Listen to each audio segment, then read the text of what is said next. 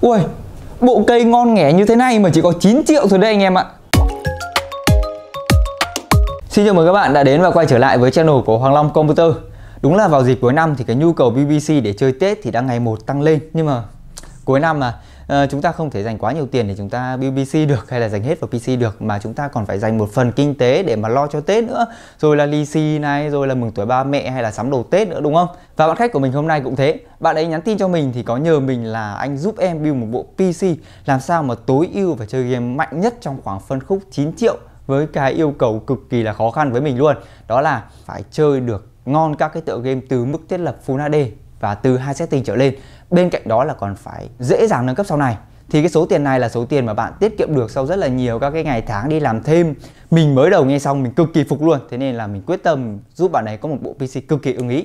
Hôm nay mình sẽ giới thiệu bộ PC đó đến với anh em để giúp anh em nào mà cuối năm đang có nhu cầu BBC nhưng mà mùa có một cái mức kinh tế nó hạn chế thì anh em có thể tham khảo cấu hình này của mình nha. Linh kiện của chúng ta thì đã có sẵn ở đây rồi thì ngay bây giờ mình sẽ giới thiệu đến anh em cái cấu hình chi tiết nha. Thì đầu tiên là CPU đi. CPU thì mình sử dụng ở đây thì sẽ là em i3 12100F. Em này thì tiếp bước cái hiệu năng gọi là best P trên B của CPU gaming mình. À, i3 105F 10105F thì em i3 12100F này này phải gọi là cực kỳ tuyệt vời luôn, có best P trên B của năm 2022 luôn anh em ạ.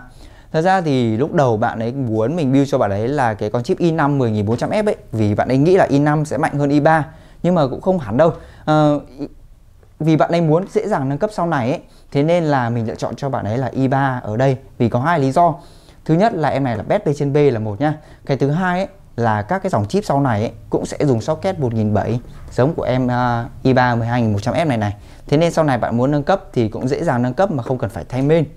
Ví dụ như em i5 10004 thì đang dùng socket là 1002 Còn em i3 này này thì đang dùng socket là 1007 Nó dễ dàng nâng cấp sau này luôn. À quên, em i3 này thì nếu các bạn build cùng bộ PC Thì các bạn sẽ được mua với giá là 1 triệu 850 nghìn. Một mức giá rất là hợp lý đúng không? Rồi bây giờ là đến main đi. Main thì mình lựa chọn ở đây một bộ main rất là phổ thông quốc dân luôn. Đó là ECS Dualson H610H7M2 thì đây là một bộ bên mà có một mức giá rất là hợp lý, chỉ vào khoảng 1 triệu 9 thôi. Nhưng mà em bên này thì phải gọi là hiệu năng cũng rất là tốt. Đây mình sẽ mở luôn ra cho các bạn xem.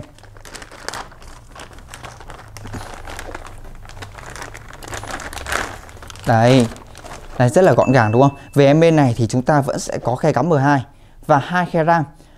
Đó, thì sau này chúng ta rất là dễ dàng nâng cấp luôn và chính vì chỉ có hai khe RAM thôi thế nên là mình sẽ lựa chọn ở đây đó là một thẻ RAM 16GB đến từ Kingston với số bớt rất là cao luôn là 3002 Đấy, mở ra cho các bạn cùng xem luôn Đấy Thế nên là dùng Nếu như các bạn mà dùng hai thẻ RAM 8GB nữa thì sau này hơi khó nâng cấp đó, thế nên là mình lựa chọn ở đây là một thẻ 16GB. Sau này các bạn mà muốn nâng cấp thì các bạn chỉ cần mua thêm một thẻ RAM này nữa. Lắp vào là chúng ta đã có 32GB rồi. Và thẻ RAM này thì mức giá cũng rất là hợp lý luôn Chỉ vào khoảng tầm 1 triệu 390 mà chúng ta có một thẻ RAM 16GB Bớt 3.200 và kèm tản nhiệt luôn. Đây. Rồi và bây giờ thì à, để giải quyết cái bài toán về kinh tế ấy, đó thì làm sao tối ưu nhất trong khoảng phân khúc 9 đến 10 triệu thì mình có lựa chọn ở đây.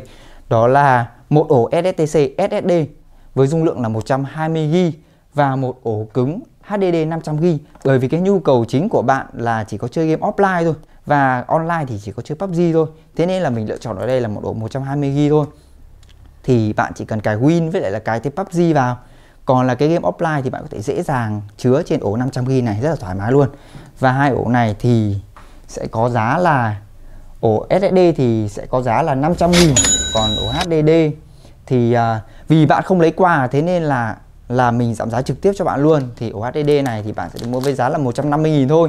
Rất là hợp lý luôn rồi bây giờ đến VGA nha. VGA thì mình lựa chọn ở đây là em 1660 Super 6GB Đây là cạc trâu nha anh em. Em này thì hiện bên mình đang bán giá rất là rẻ thôi Là 2 triệu 890 nghìn. Ôi, Rất là rẻ đúng không? Với cái mức giá này thì đúng là rất khó đi đâu anh em có thể mua được một em cạc gọi là ngon lành cành đào như thế này. Nhìn tổng quan về ngoại hình thì anh em có thể thấy là Ừ thì tất nhiên là em ấy đã cũ rồi. Nhưng mà về phe chắn này Vẫn chưa có hiện tượng gì xét này rồi là nhìn chung thì vẫn còn khá là mới. Đấy các ống đồng này nó khá là mới. Hiệu năng thì tí nữa mình sẽ test cho anh em cùng xem. À, em này thì vẫn còn bảo hành đến tận năm 2024 cơ anh em ạ. Và nếu như anh em mua bên mình thì anh em vẫn sẽ được nhận bảo hành lỗi một đổi một trong vòng một năm. Nó rất là yên tâm đúng không? À, bây giờ là nguồn đúng không? Nguồn. Nguồn thì mình lựa chọn ở đây là bộ nguồn VK iGo 550W thì bộ nguồn này thì đã xuất hiện, gọi là quá quen thuộc đối với anh em rồi và cũng xuất hiện trong khá là nhiều các cái à, video build cây của mình. Thì bộ nguồn này nha, bên mình hiện đang có giá là 600 nghìn. Đó. Tiếp theo thì sẽ đến phần tản nhiệt. Thì lúc đầu ấy, thì theo cái mức ngân sách của bạn ấy đưa ra thì mình có lựa chọn cho bạn ấy là tán stock thôi, tán stock đi kèm chip ấy. Chip chay thì không có tán stock nhưng mà bên mình, gọi là, tặng luôn cho bạn ấy tán stock. Nhưng mà bạn ấy lại muốn là tán stock thì nó không có led, thì nó trông hơi xấu và trông thì nó cứ thiếu thiếu cái gì ấy. Thế nên là mình à, đã đề xuất với bạn ấy là lắp thêm em tản CR1002 này. Thì em này cũng rất là rẻ luôn, chỉ khoảng 200 nghìn nhưng mà lắp vào có led này. Hiệu năng tản nhiệt cũng được cải thiện hơn rất là nhiều. Và cuối cùng là một bộ vỏ. Đây cũng là một bộ vỏ Kino mới gửi cho bên mình xong. Đó, anh em nhìn rất là đẹp, đúng không? Bộ vỏ này cũng chưa bán trên thị trường luôn. Anh em đoán bộ vỏ này bao nhiêu tiền? Nhiều anh em sẽ đoán là bộ vỏ này khoảng tầm 1 triệu nhưng không. Bộ vỏ này chỉ có giá khoảng tầm 750 nghìn thôi anh em ạ. Một mức giá quá chi là ok la cực kỳ ngon lành luôn. Em nhìn không? Nhìn vỏ này có ai bảo là đây là bộ vỏ 750 nghìn không? Rất là đẹp luôn. Bên cạnh đó thì khi mà anh em mua bộ vỏ này thì anh em sẽ được uh, tặng sẵn 3 fan led ở đây nha. 3 fan led ở mặt trước đây này. Và nếu như nào mà anh em còn thích led nữa thì uh, chúng ta lắp thêm một fan đứng sau nữa. Ui rồi tuyệt vời luôn rồi, vậy là mình cũng đã giới thiệu xong với các bạn tất cả các linh kiện của bộ cây này rồi. Thì à, ngay bây giờ các bạn hãy cùng mình à, lắp ráp bộ cây này nha. Vậy là mình cũng đã lắp xong bộ cây rồi anh em. Đấy, anh em nhìn thấy chưa? Thay một em tàn vào phát là nhìn bộ cây cân đối ngay. Giả sử tưởng tượng mà xem. Bây giờ mà lắp tán stop vào thì nhìn bộ cây nó cứ thiếu thiếu cái gì ấy, đúng không? Đó, mình sẽ điểm qua cấu hình lại một chút cho anh em nha. I3 12100F dễ dàng nâng cấp luôn. Rồi, RAM 16GB có một khe RAM anh em vẫn dễ dàng nâng cấp hay là như à, RTX à không GTX 1660 Super 6 GB chơi game ngon mà sau này anh em có muốn nâng cấp lên thì cũng dễ dàng nâng cấp bởi vì em i3 12100F này cân được đến cả 3060 luôn anh em ạ. Ù, đấy, nhìn bộ cây tổng thể thì ngon lành cành nào. À, ngay bây giờ thì mình sẽ test game để cho anh em cùng kiểm chứng. Ok vậy là mình cũng đã vào được game PUBG rồi đây, bây giờ mình sẽ show cấu hình cho các bạn cùng kiểm chứng này. Cài đặt ở đây. À đúng không? Đây đây là cao này cao này. Đó, xem mọi cách thì thường mình để siêu. Đó, để nhìn khoảng cách định cho nó xa. Nhận nha. Rồi. Ok. Tiếp tục thì mình sẽ vào game luôn. Cứ test gì thì test, cứ phải test PUBG trước đã, mọi người ạ.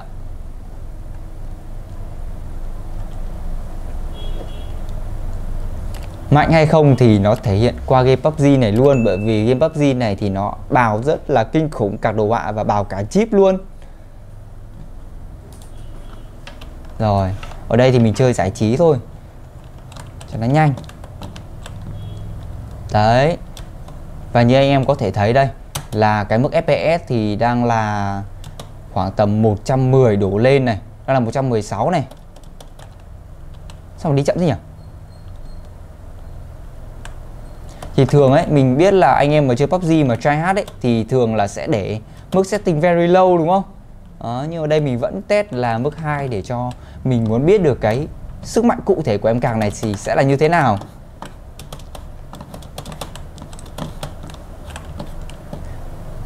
Rồi chúng ta cùng chờ vài giây để vào trận đấu xem chơi trực tiếp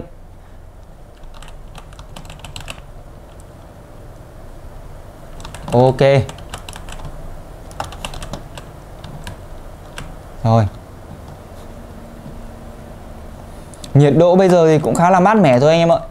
À, Đối với em chip thì hiện tại đang chiếm dụng khoảng tầm 54% Và nhiệt độ chỉ rơi vào khoảng tầm 45-44 độ C thôi. Còn là cạc thì nó sẽ có nhiệt độ khoảng tầm 57 độ C Và chiếm dụng khoảng tầm 2GB8 FPS thì ờ, khỏi rồi, khỏi miễn bàn luôn rồi. Cực kỳ cao luôn. Sao không tem nào khác nhỉ? Nói chung là mình chơi cũng ờ, không giỏi lắm nên mình bình luận cho anh em xem thôi nha. đấy vào những cái lúc mà mình có nhiều chi tiết ấy thì FPS nó giảm xuống một tí khoảng tầm uh, là Đấy rồi là khoảng tầm 90 Nhưng mà mình thấy là với cái mức thiết lập này ấy Thì vẫn giúp cho chúng ta có một trải nghiệm nó rất là tuyệt vời Và nếu như anh em thật sự mà try hard nhiều hơn nữa Thì chúng ta có thể hạ mức cấu hình xuống Thì FPS nó sẽ cải thiện nó rất là nhiều Bây giờ thì mình cũng sẽ thử hạ xuống mức uh, medium đi Medium nha. Medium này. Đấy, trung bình này. Xem là Chắc chắn là FPS sẽ cải thiện nha anh em. Bây giờ chúng ta thì đang có là Rồi, đang có là mức 100 rồi này. Vào những cái cảnh đông người thì vẫn là 100 Nó sẽ tăng lên khoảng tầm Được vài FPS nữa. Ui. Ui. Rồi, đấy, test như vậy thôi. Và ngay bây giờ thì chúng ta sẽ cùng qua đến những cái tựa game offline khác để xem là hiệu năng cụ thể như thế nào. Rồi và tựa game tiếp theo offline mình muốn test ở đây đó là tựa game Path to 5. Đó.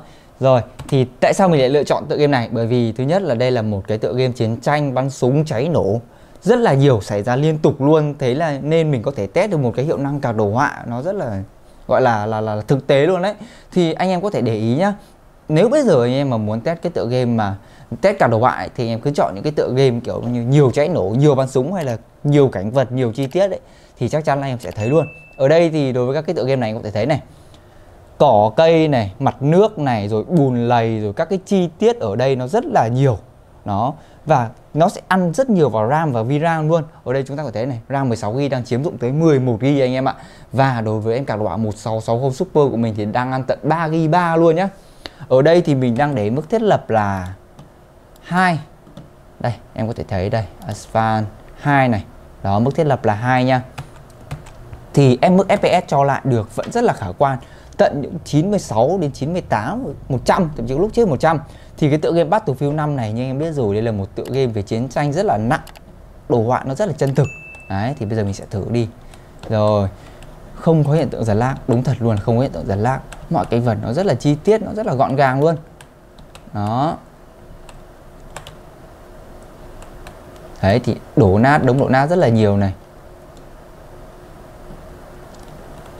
Đấy thì em cứ test những cái tựa game như này là sẽ thấy ngay được hiệu năng của em cạc đồ họa thôi. Ôi giờ chơi kiểu gì đấy nhỉ